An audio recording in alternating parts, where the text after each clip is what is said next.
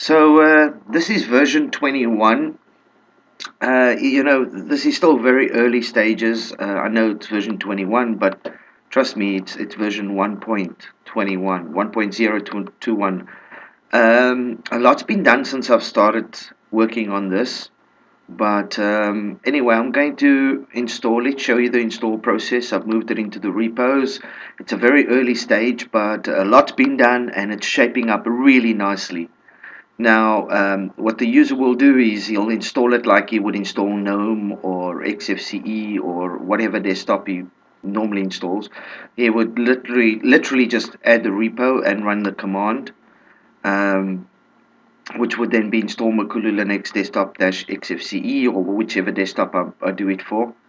And uh, as you can see, it, it downloads the packages needed. And once that is done, we will transform this standard, this is a standard Ubuntu 14.04 installation, a standard XFCE, nothing changed, just plain standard out the box. Uh, although I did move the panel to the bottom, I don't like it on top but apart from that it's it's pretty much standard. And I'm going to transform this now as you'll see it's just busy downloading.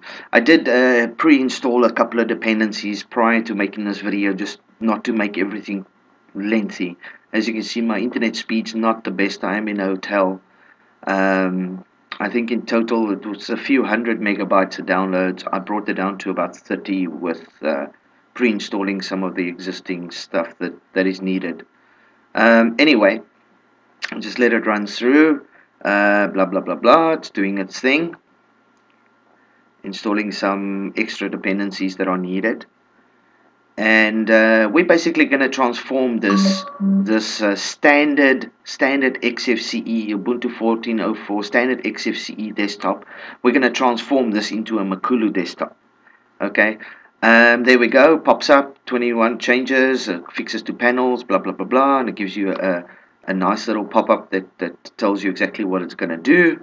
And once it's done, once you've read through it, you click continue on installation, select the user account because, you know, some people run like five users on the system. Select the user account to transform. There we go, blah, blah, blah, blah, done.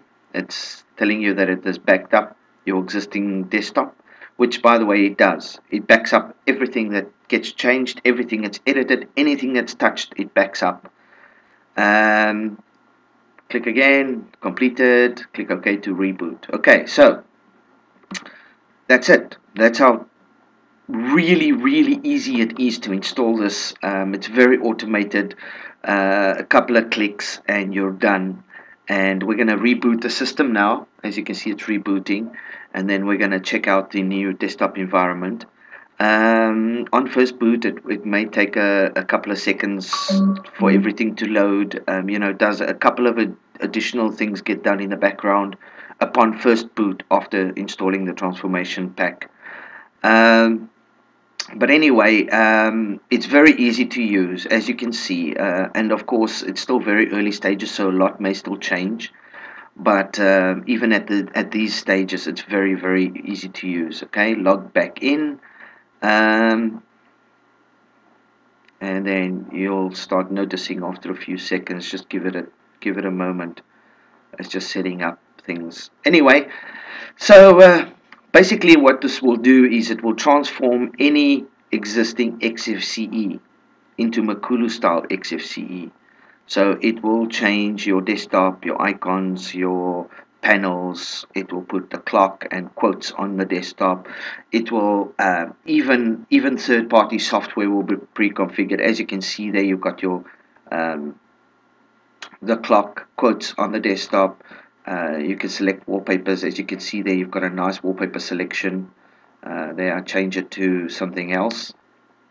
And you open the menu. I'm still busy working on the menu but there we go you've got the um, the whisker menu instead of the other menu as you can see there there's a remove button as well getting to that into a second um, okay uh, there's update repositories and a couple of other things I'm, I'm slowly working on what will actually be in in this this pack and what won't um, but anyway, uh, as you can see, the icons are displaying, the wallpaper is displaying properly. Even the right-click menu your context menu is displaying correctly. It's got everything in there, even open folders, root, search, share, scan for threads. Uh, you know, um, the, the, the transparency on the borders are working correctly, as you can see. Even transparency on the, the right-click menus, so I've transferred that. That's, that's uh, carried over, so that's quite nice. Um, so slowly, for slowly, bit by bit, I'm actually um, configuring everything as I go. You know, a few days ago, this it wasn't really doing much, and now I've got the whole desktop just about running. Anyway, so let's remove it again. Choose OK, put in your password. Easy, just run that icon from the menu. That's it. Select the user, go OK, and it will do apt-get uninstall some of the front end stuff and then the I've got a script that runs in the background that removes pretty much everything else. Um, I've still got to work on this because I've I've got a couple of extra other new new deb files that get get also you know I've ported things into other deb files. I've got to update that script. Um, not everything exactly on this version gets removed. Majority does though. Um, I've still got to update that, but this is still very early, early, early version. Anyway, you reboot. So re reboot again. We chose to remove Makulu desktop, and uh, basically what that does is that it will, because everything gets backed up. Anything changed gets backed up into a folder. So when you remove, it removes everything new that you put in, and it just copies everything back from the backup folder, transfers everything back to where it's supposed to be, which is all over the show and then when you reboot you have your original desktop again uh, as it was before you installed Makulu uh, desktop. And uh, everything in its right place.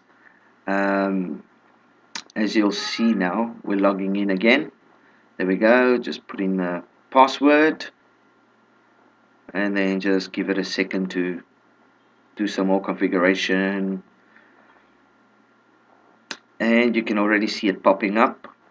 It should pop up the wallpaper in a few seconds. Uh, it's just restoring. There we go. There we go. Now you have your desktop as it was before you installed Makulu just with one simple click of uh, ah yes the Conky screen. I've still got to add the removal script for Conky so just ignore that. That'll fix probably in the next version or two. Um, to make sure that that gets removed as well. Like I said, this is still very early alpha, so I'm still busy configuring what stays, what goes. Um, you know, still um, there's a lot of work being done on this at the moment, and um, basically this video is just to show it making progress and how simple and easy and quick it is to use this. It's amazing, man. It's going to be really awesome.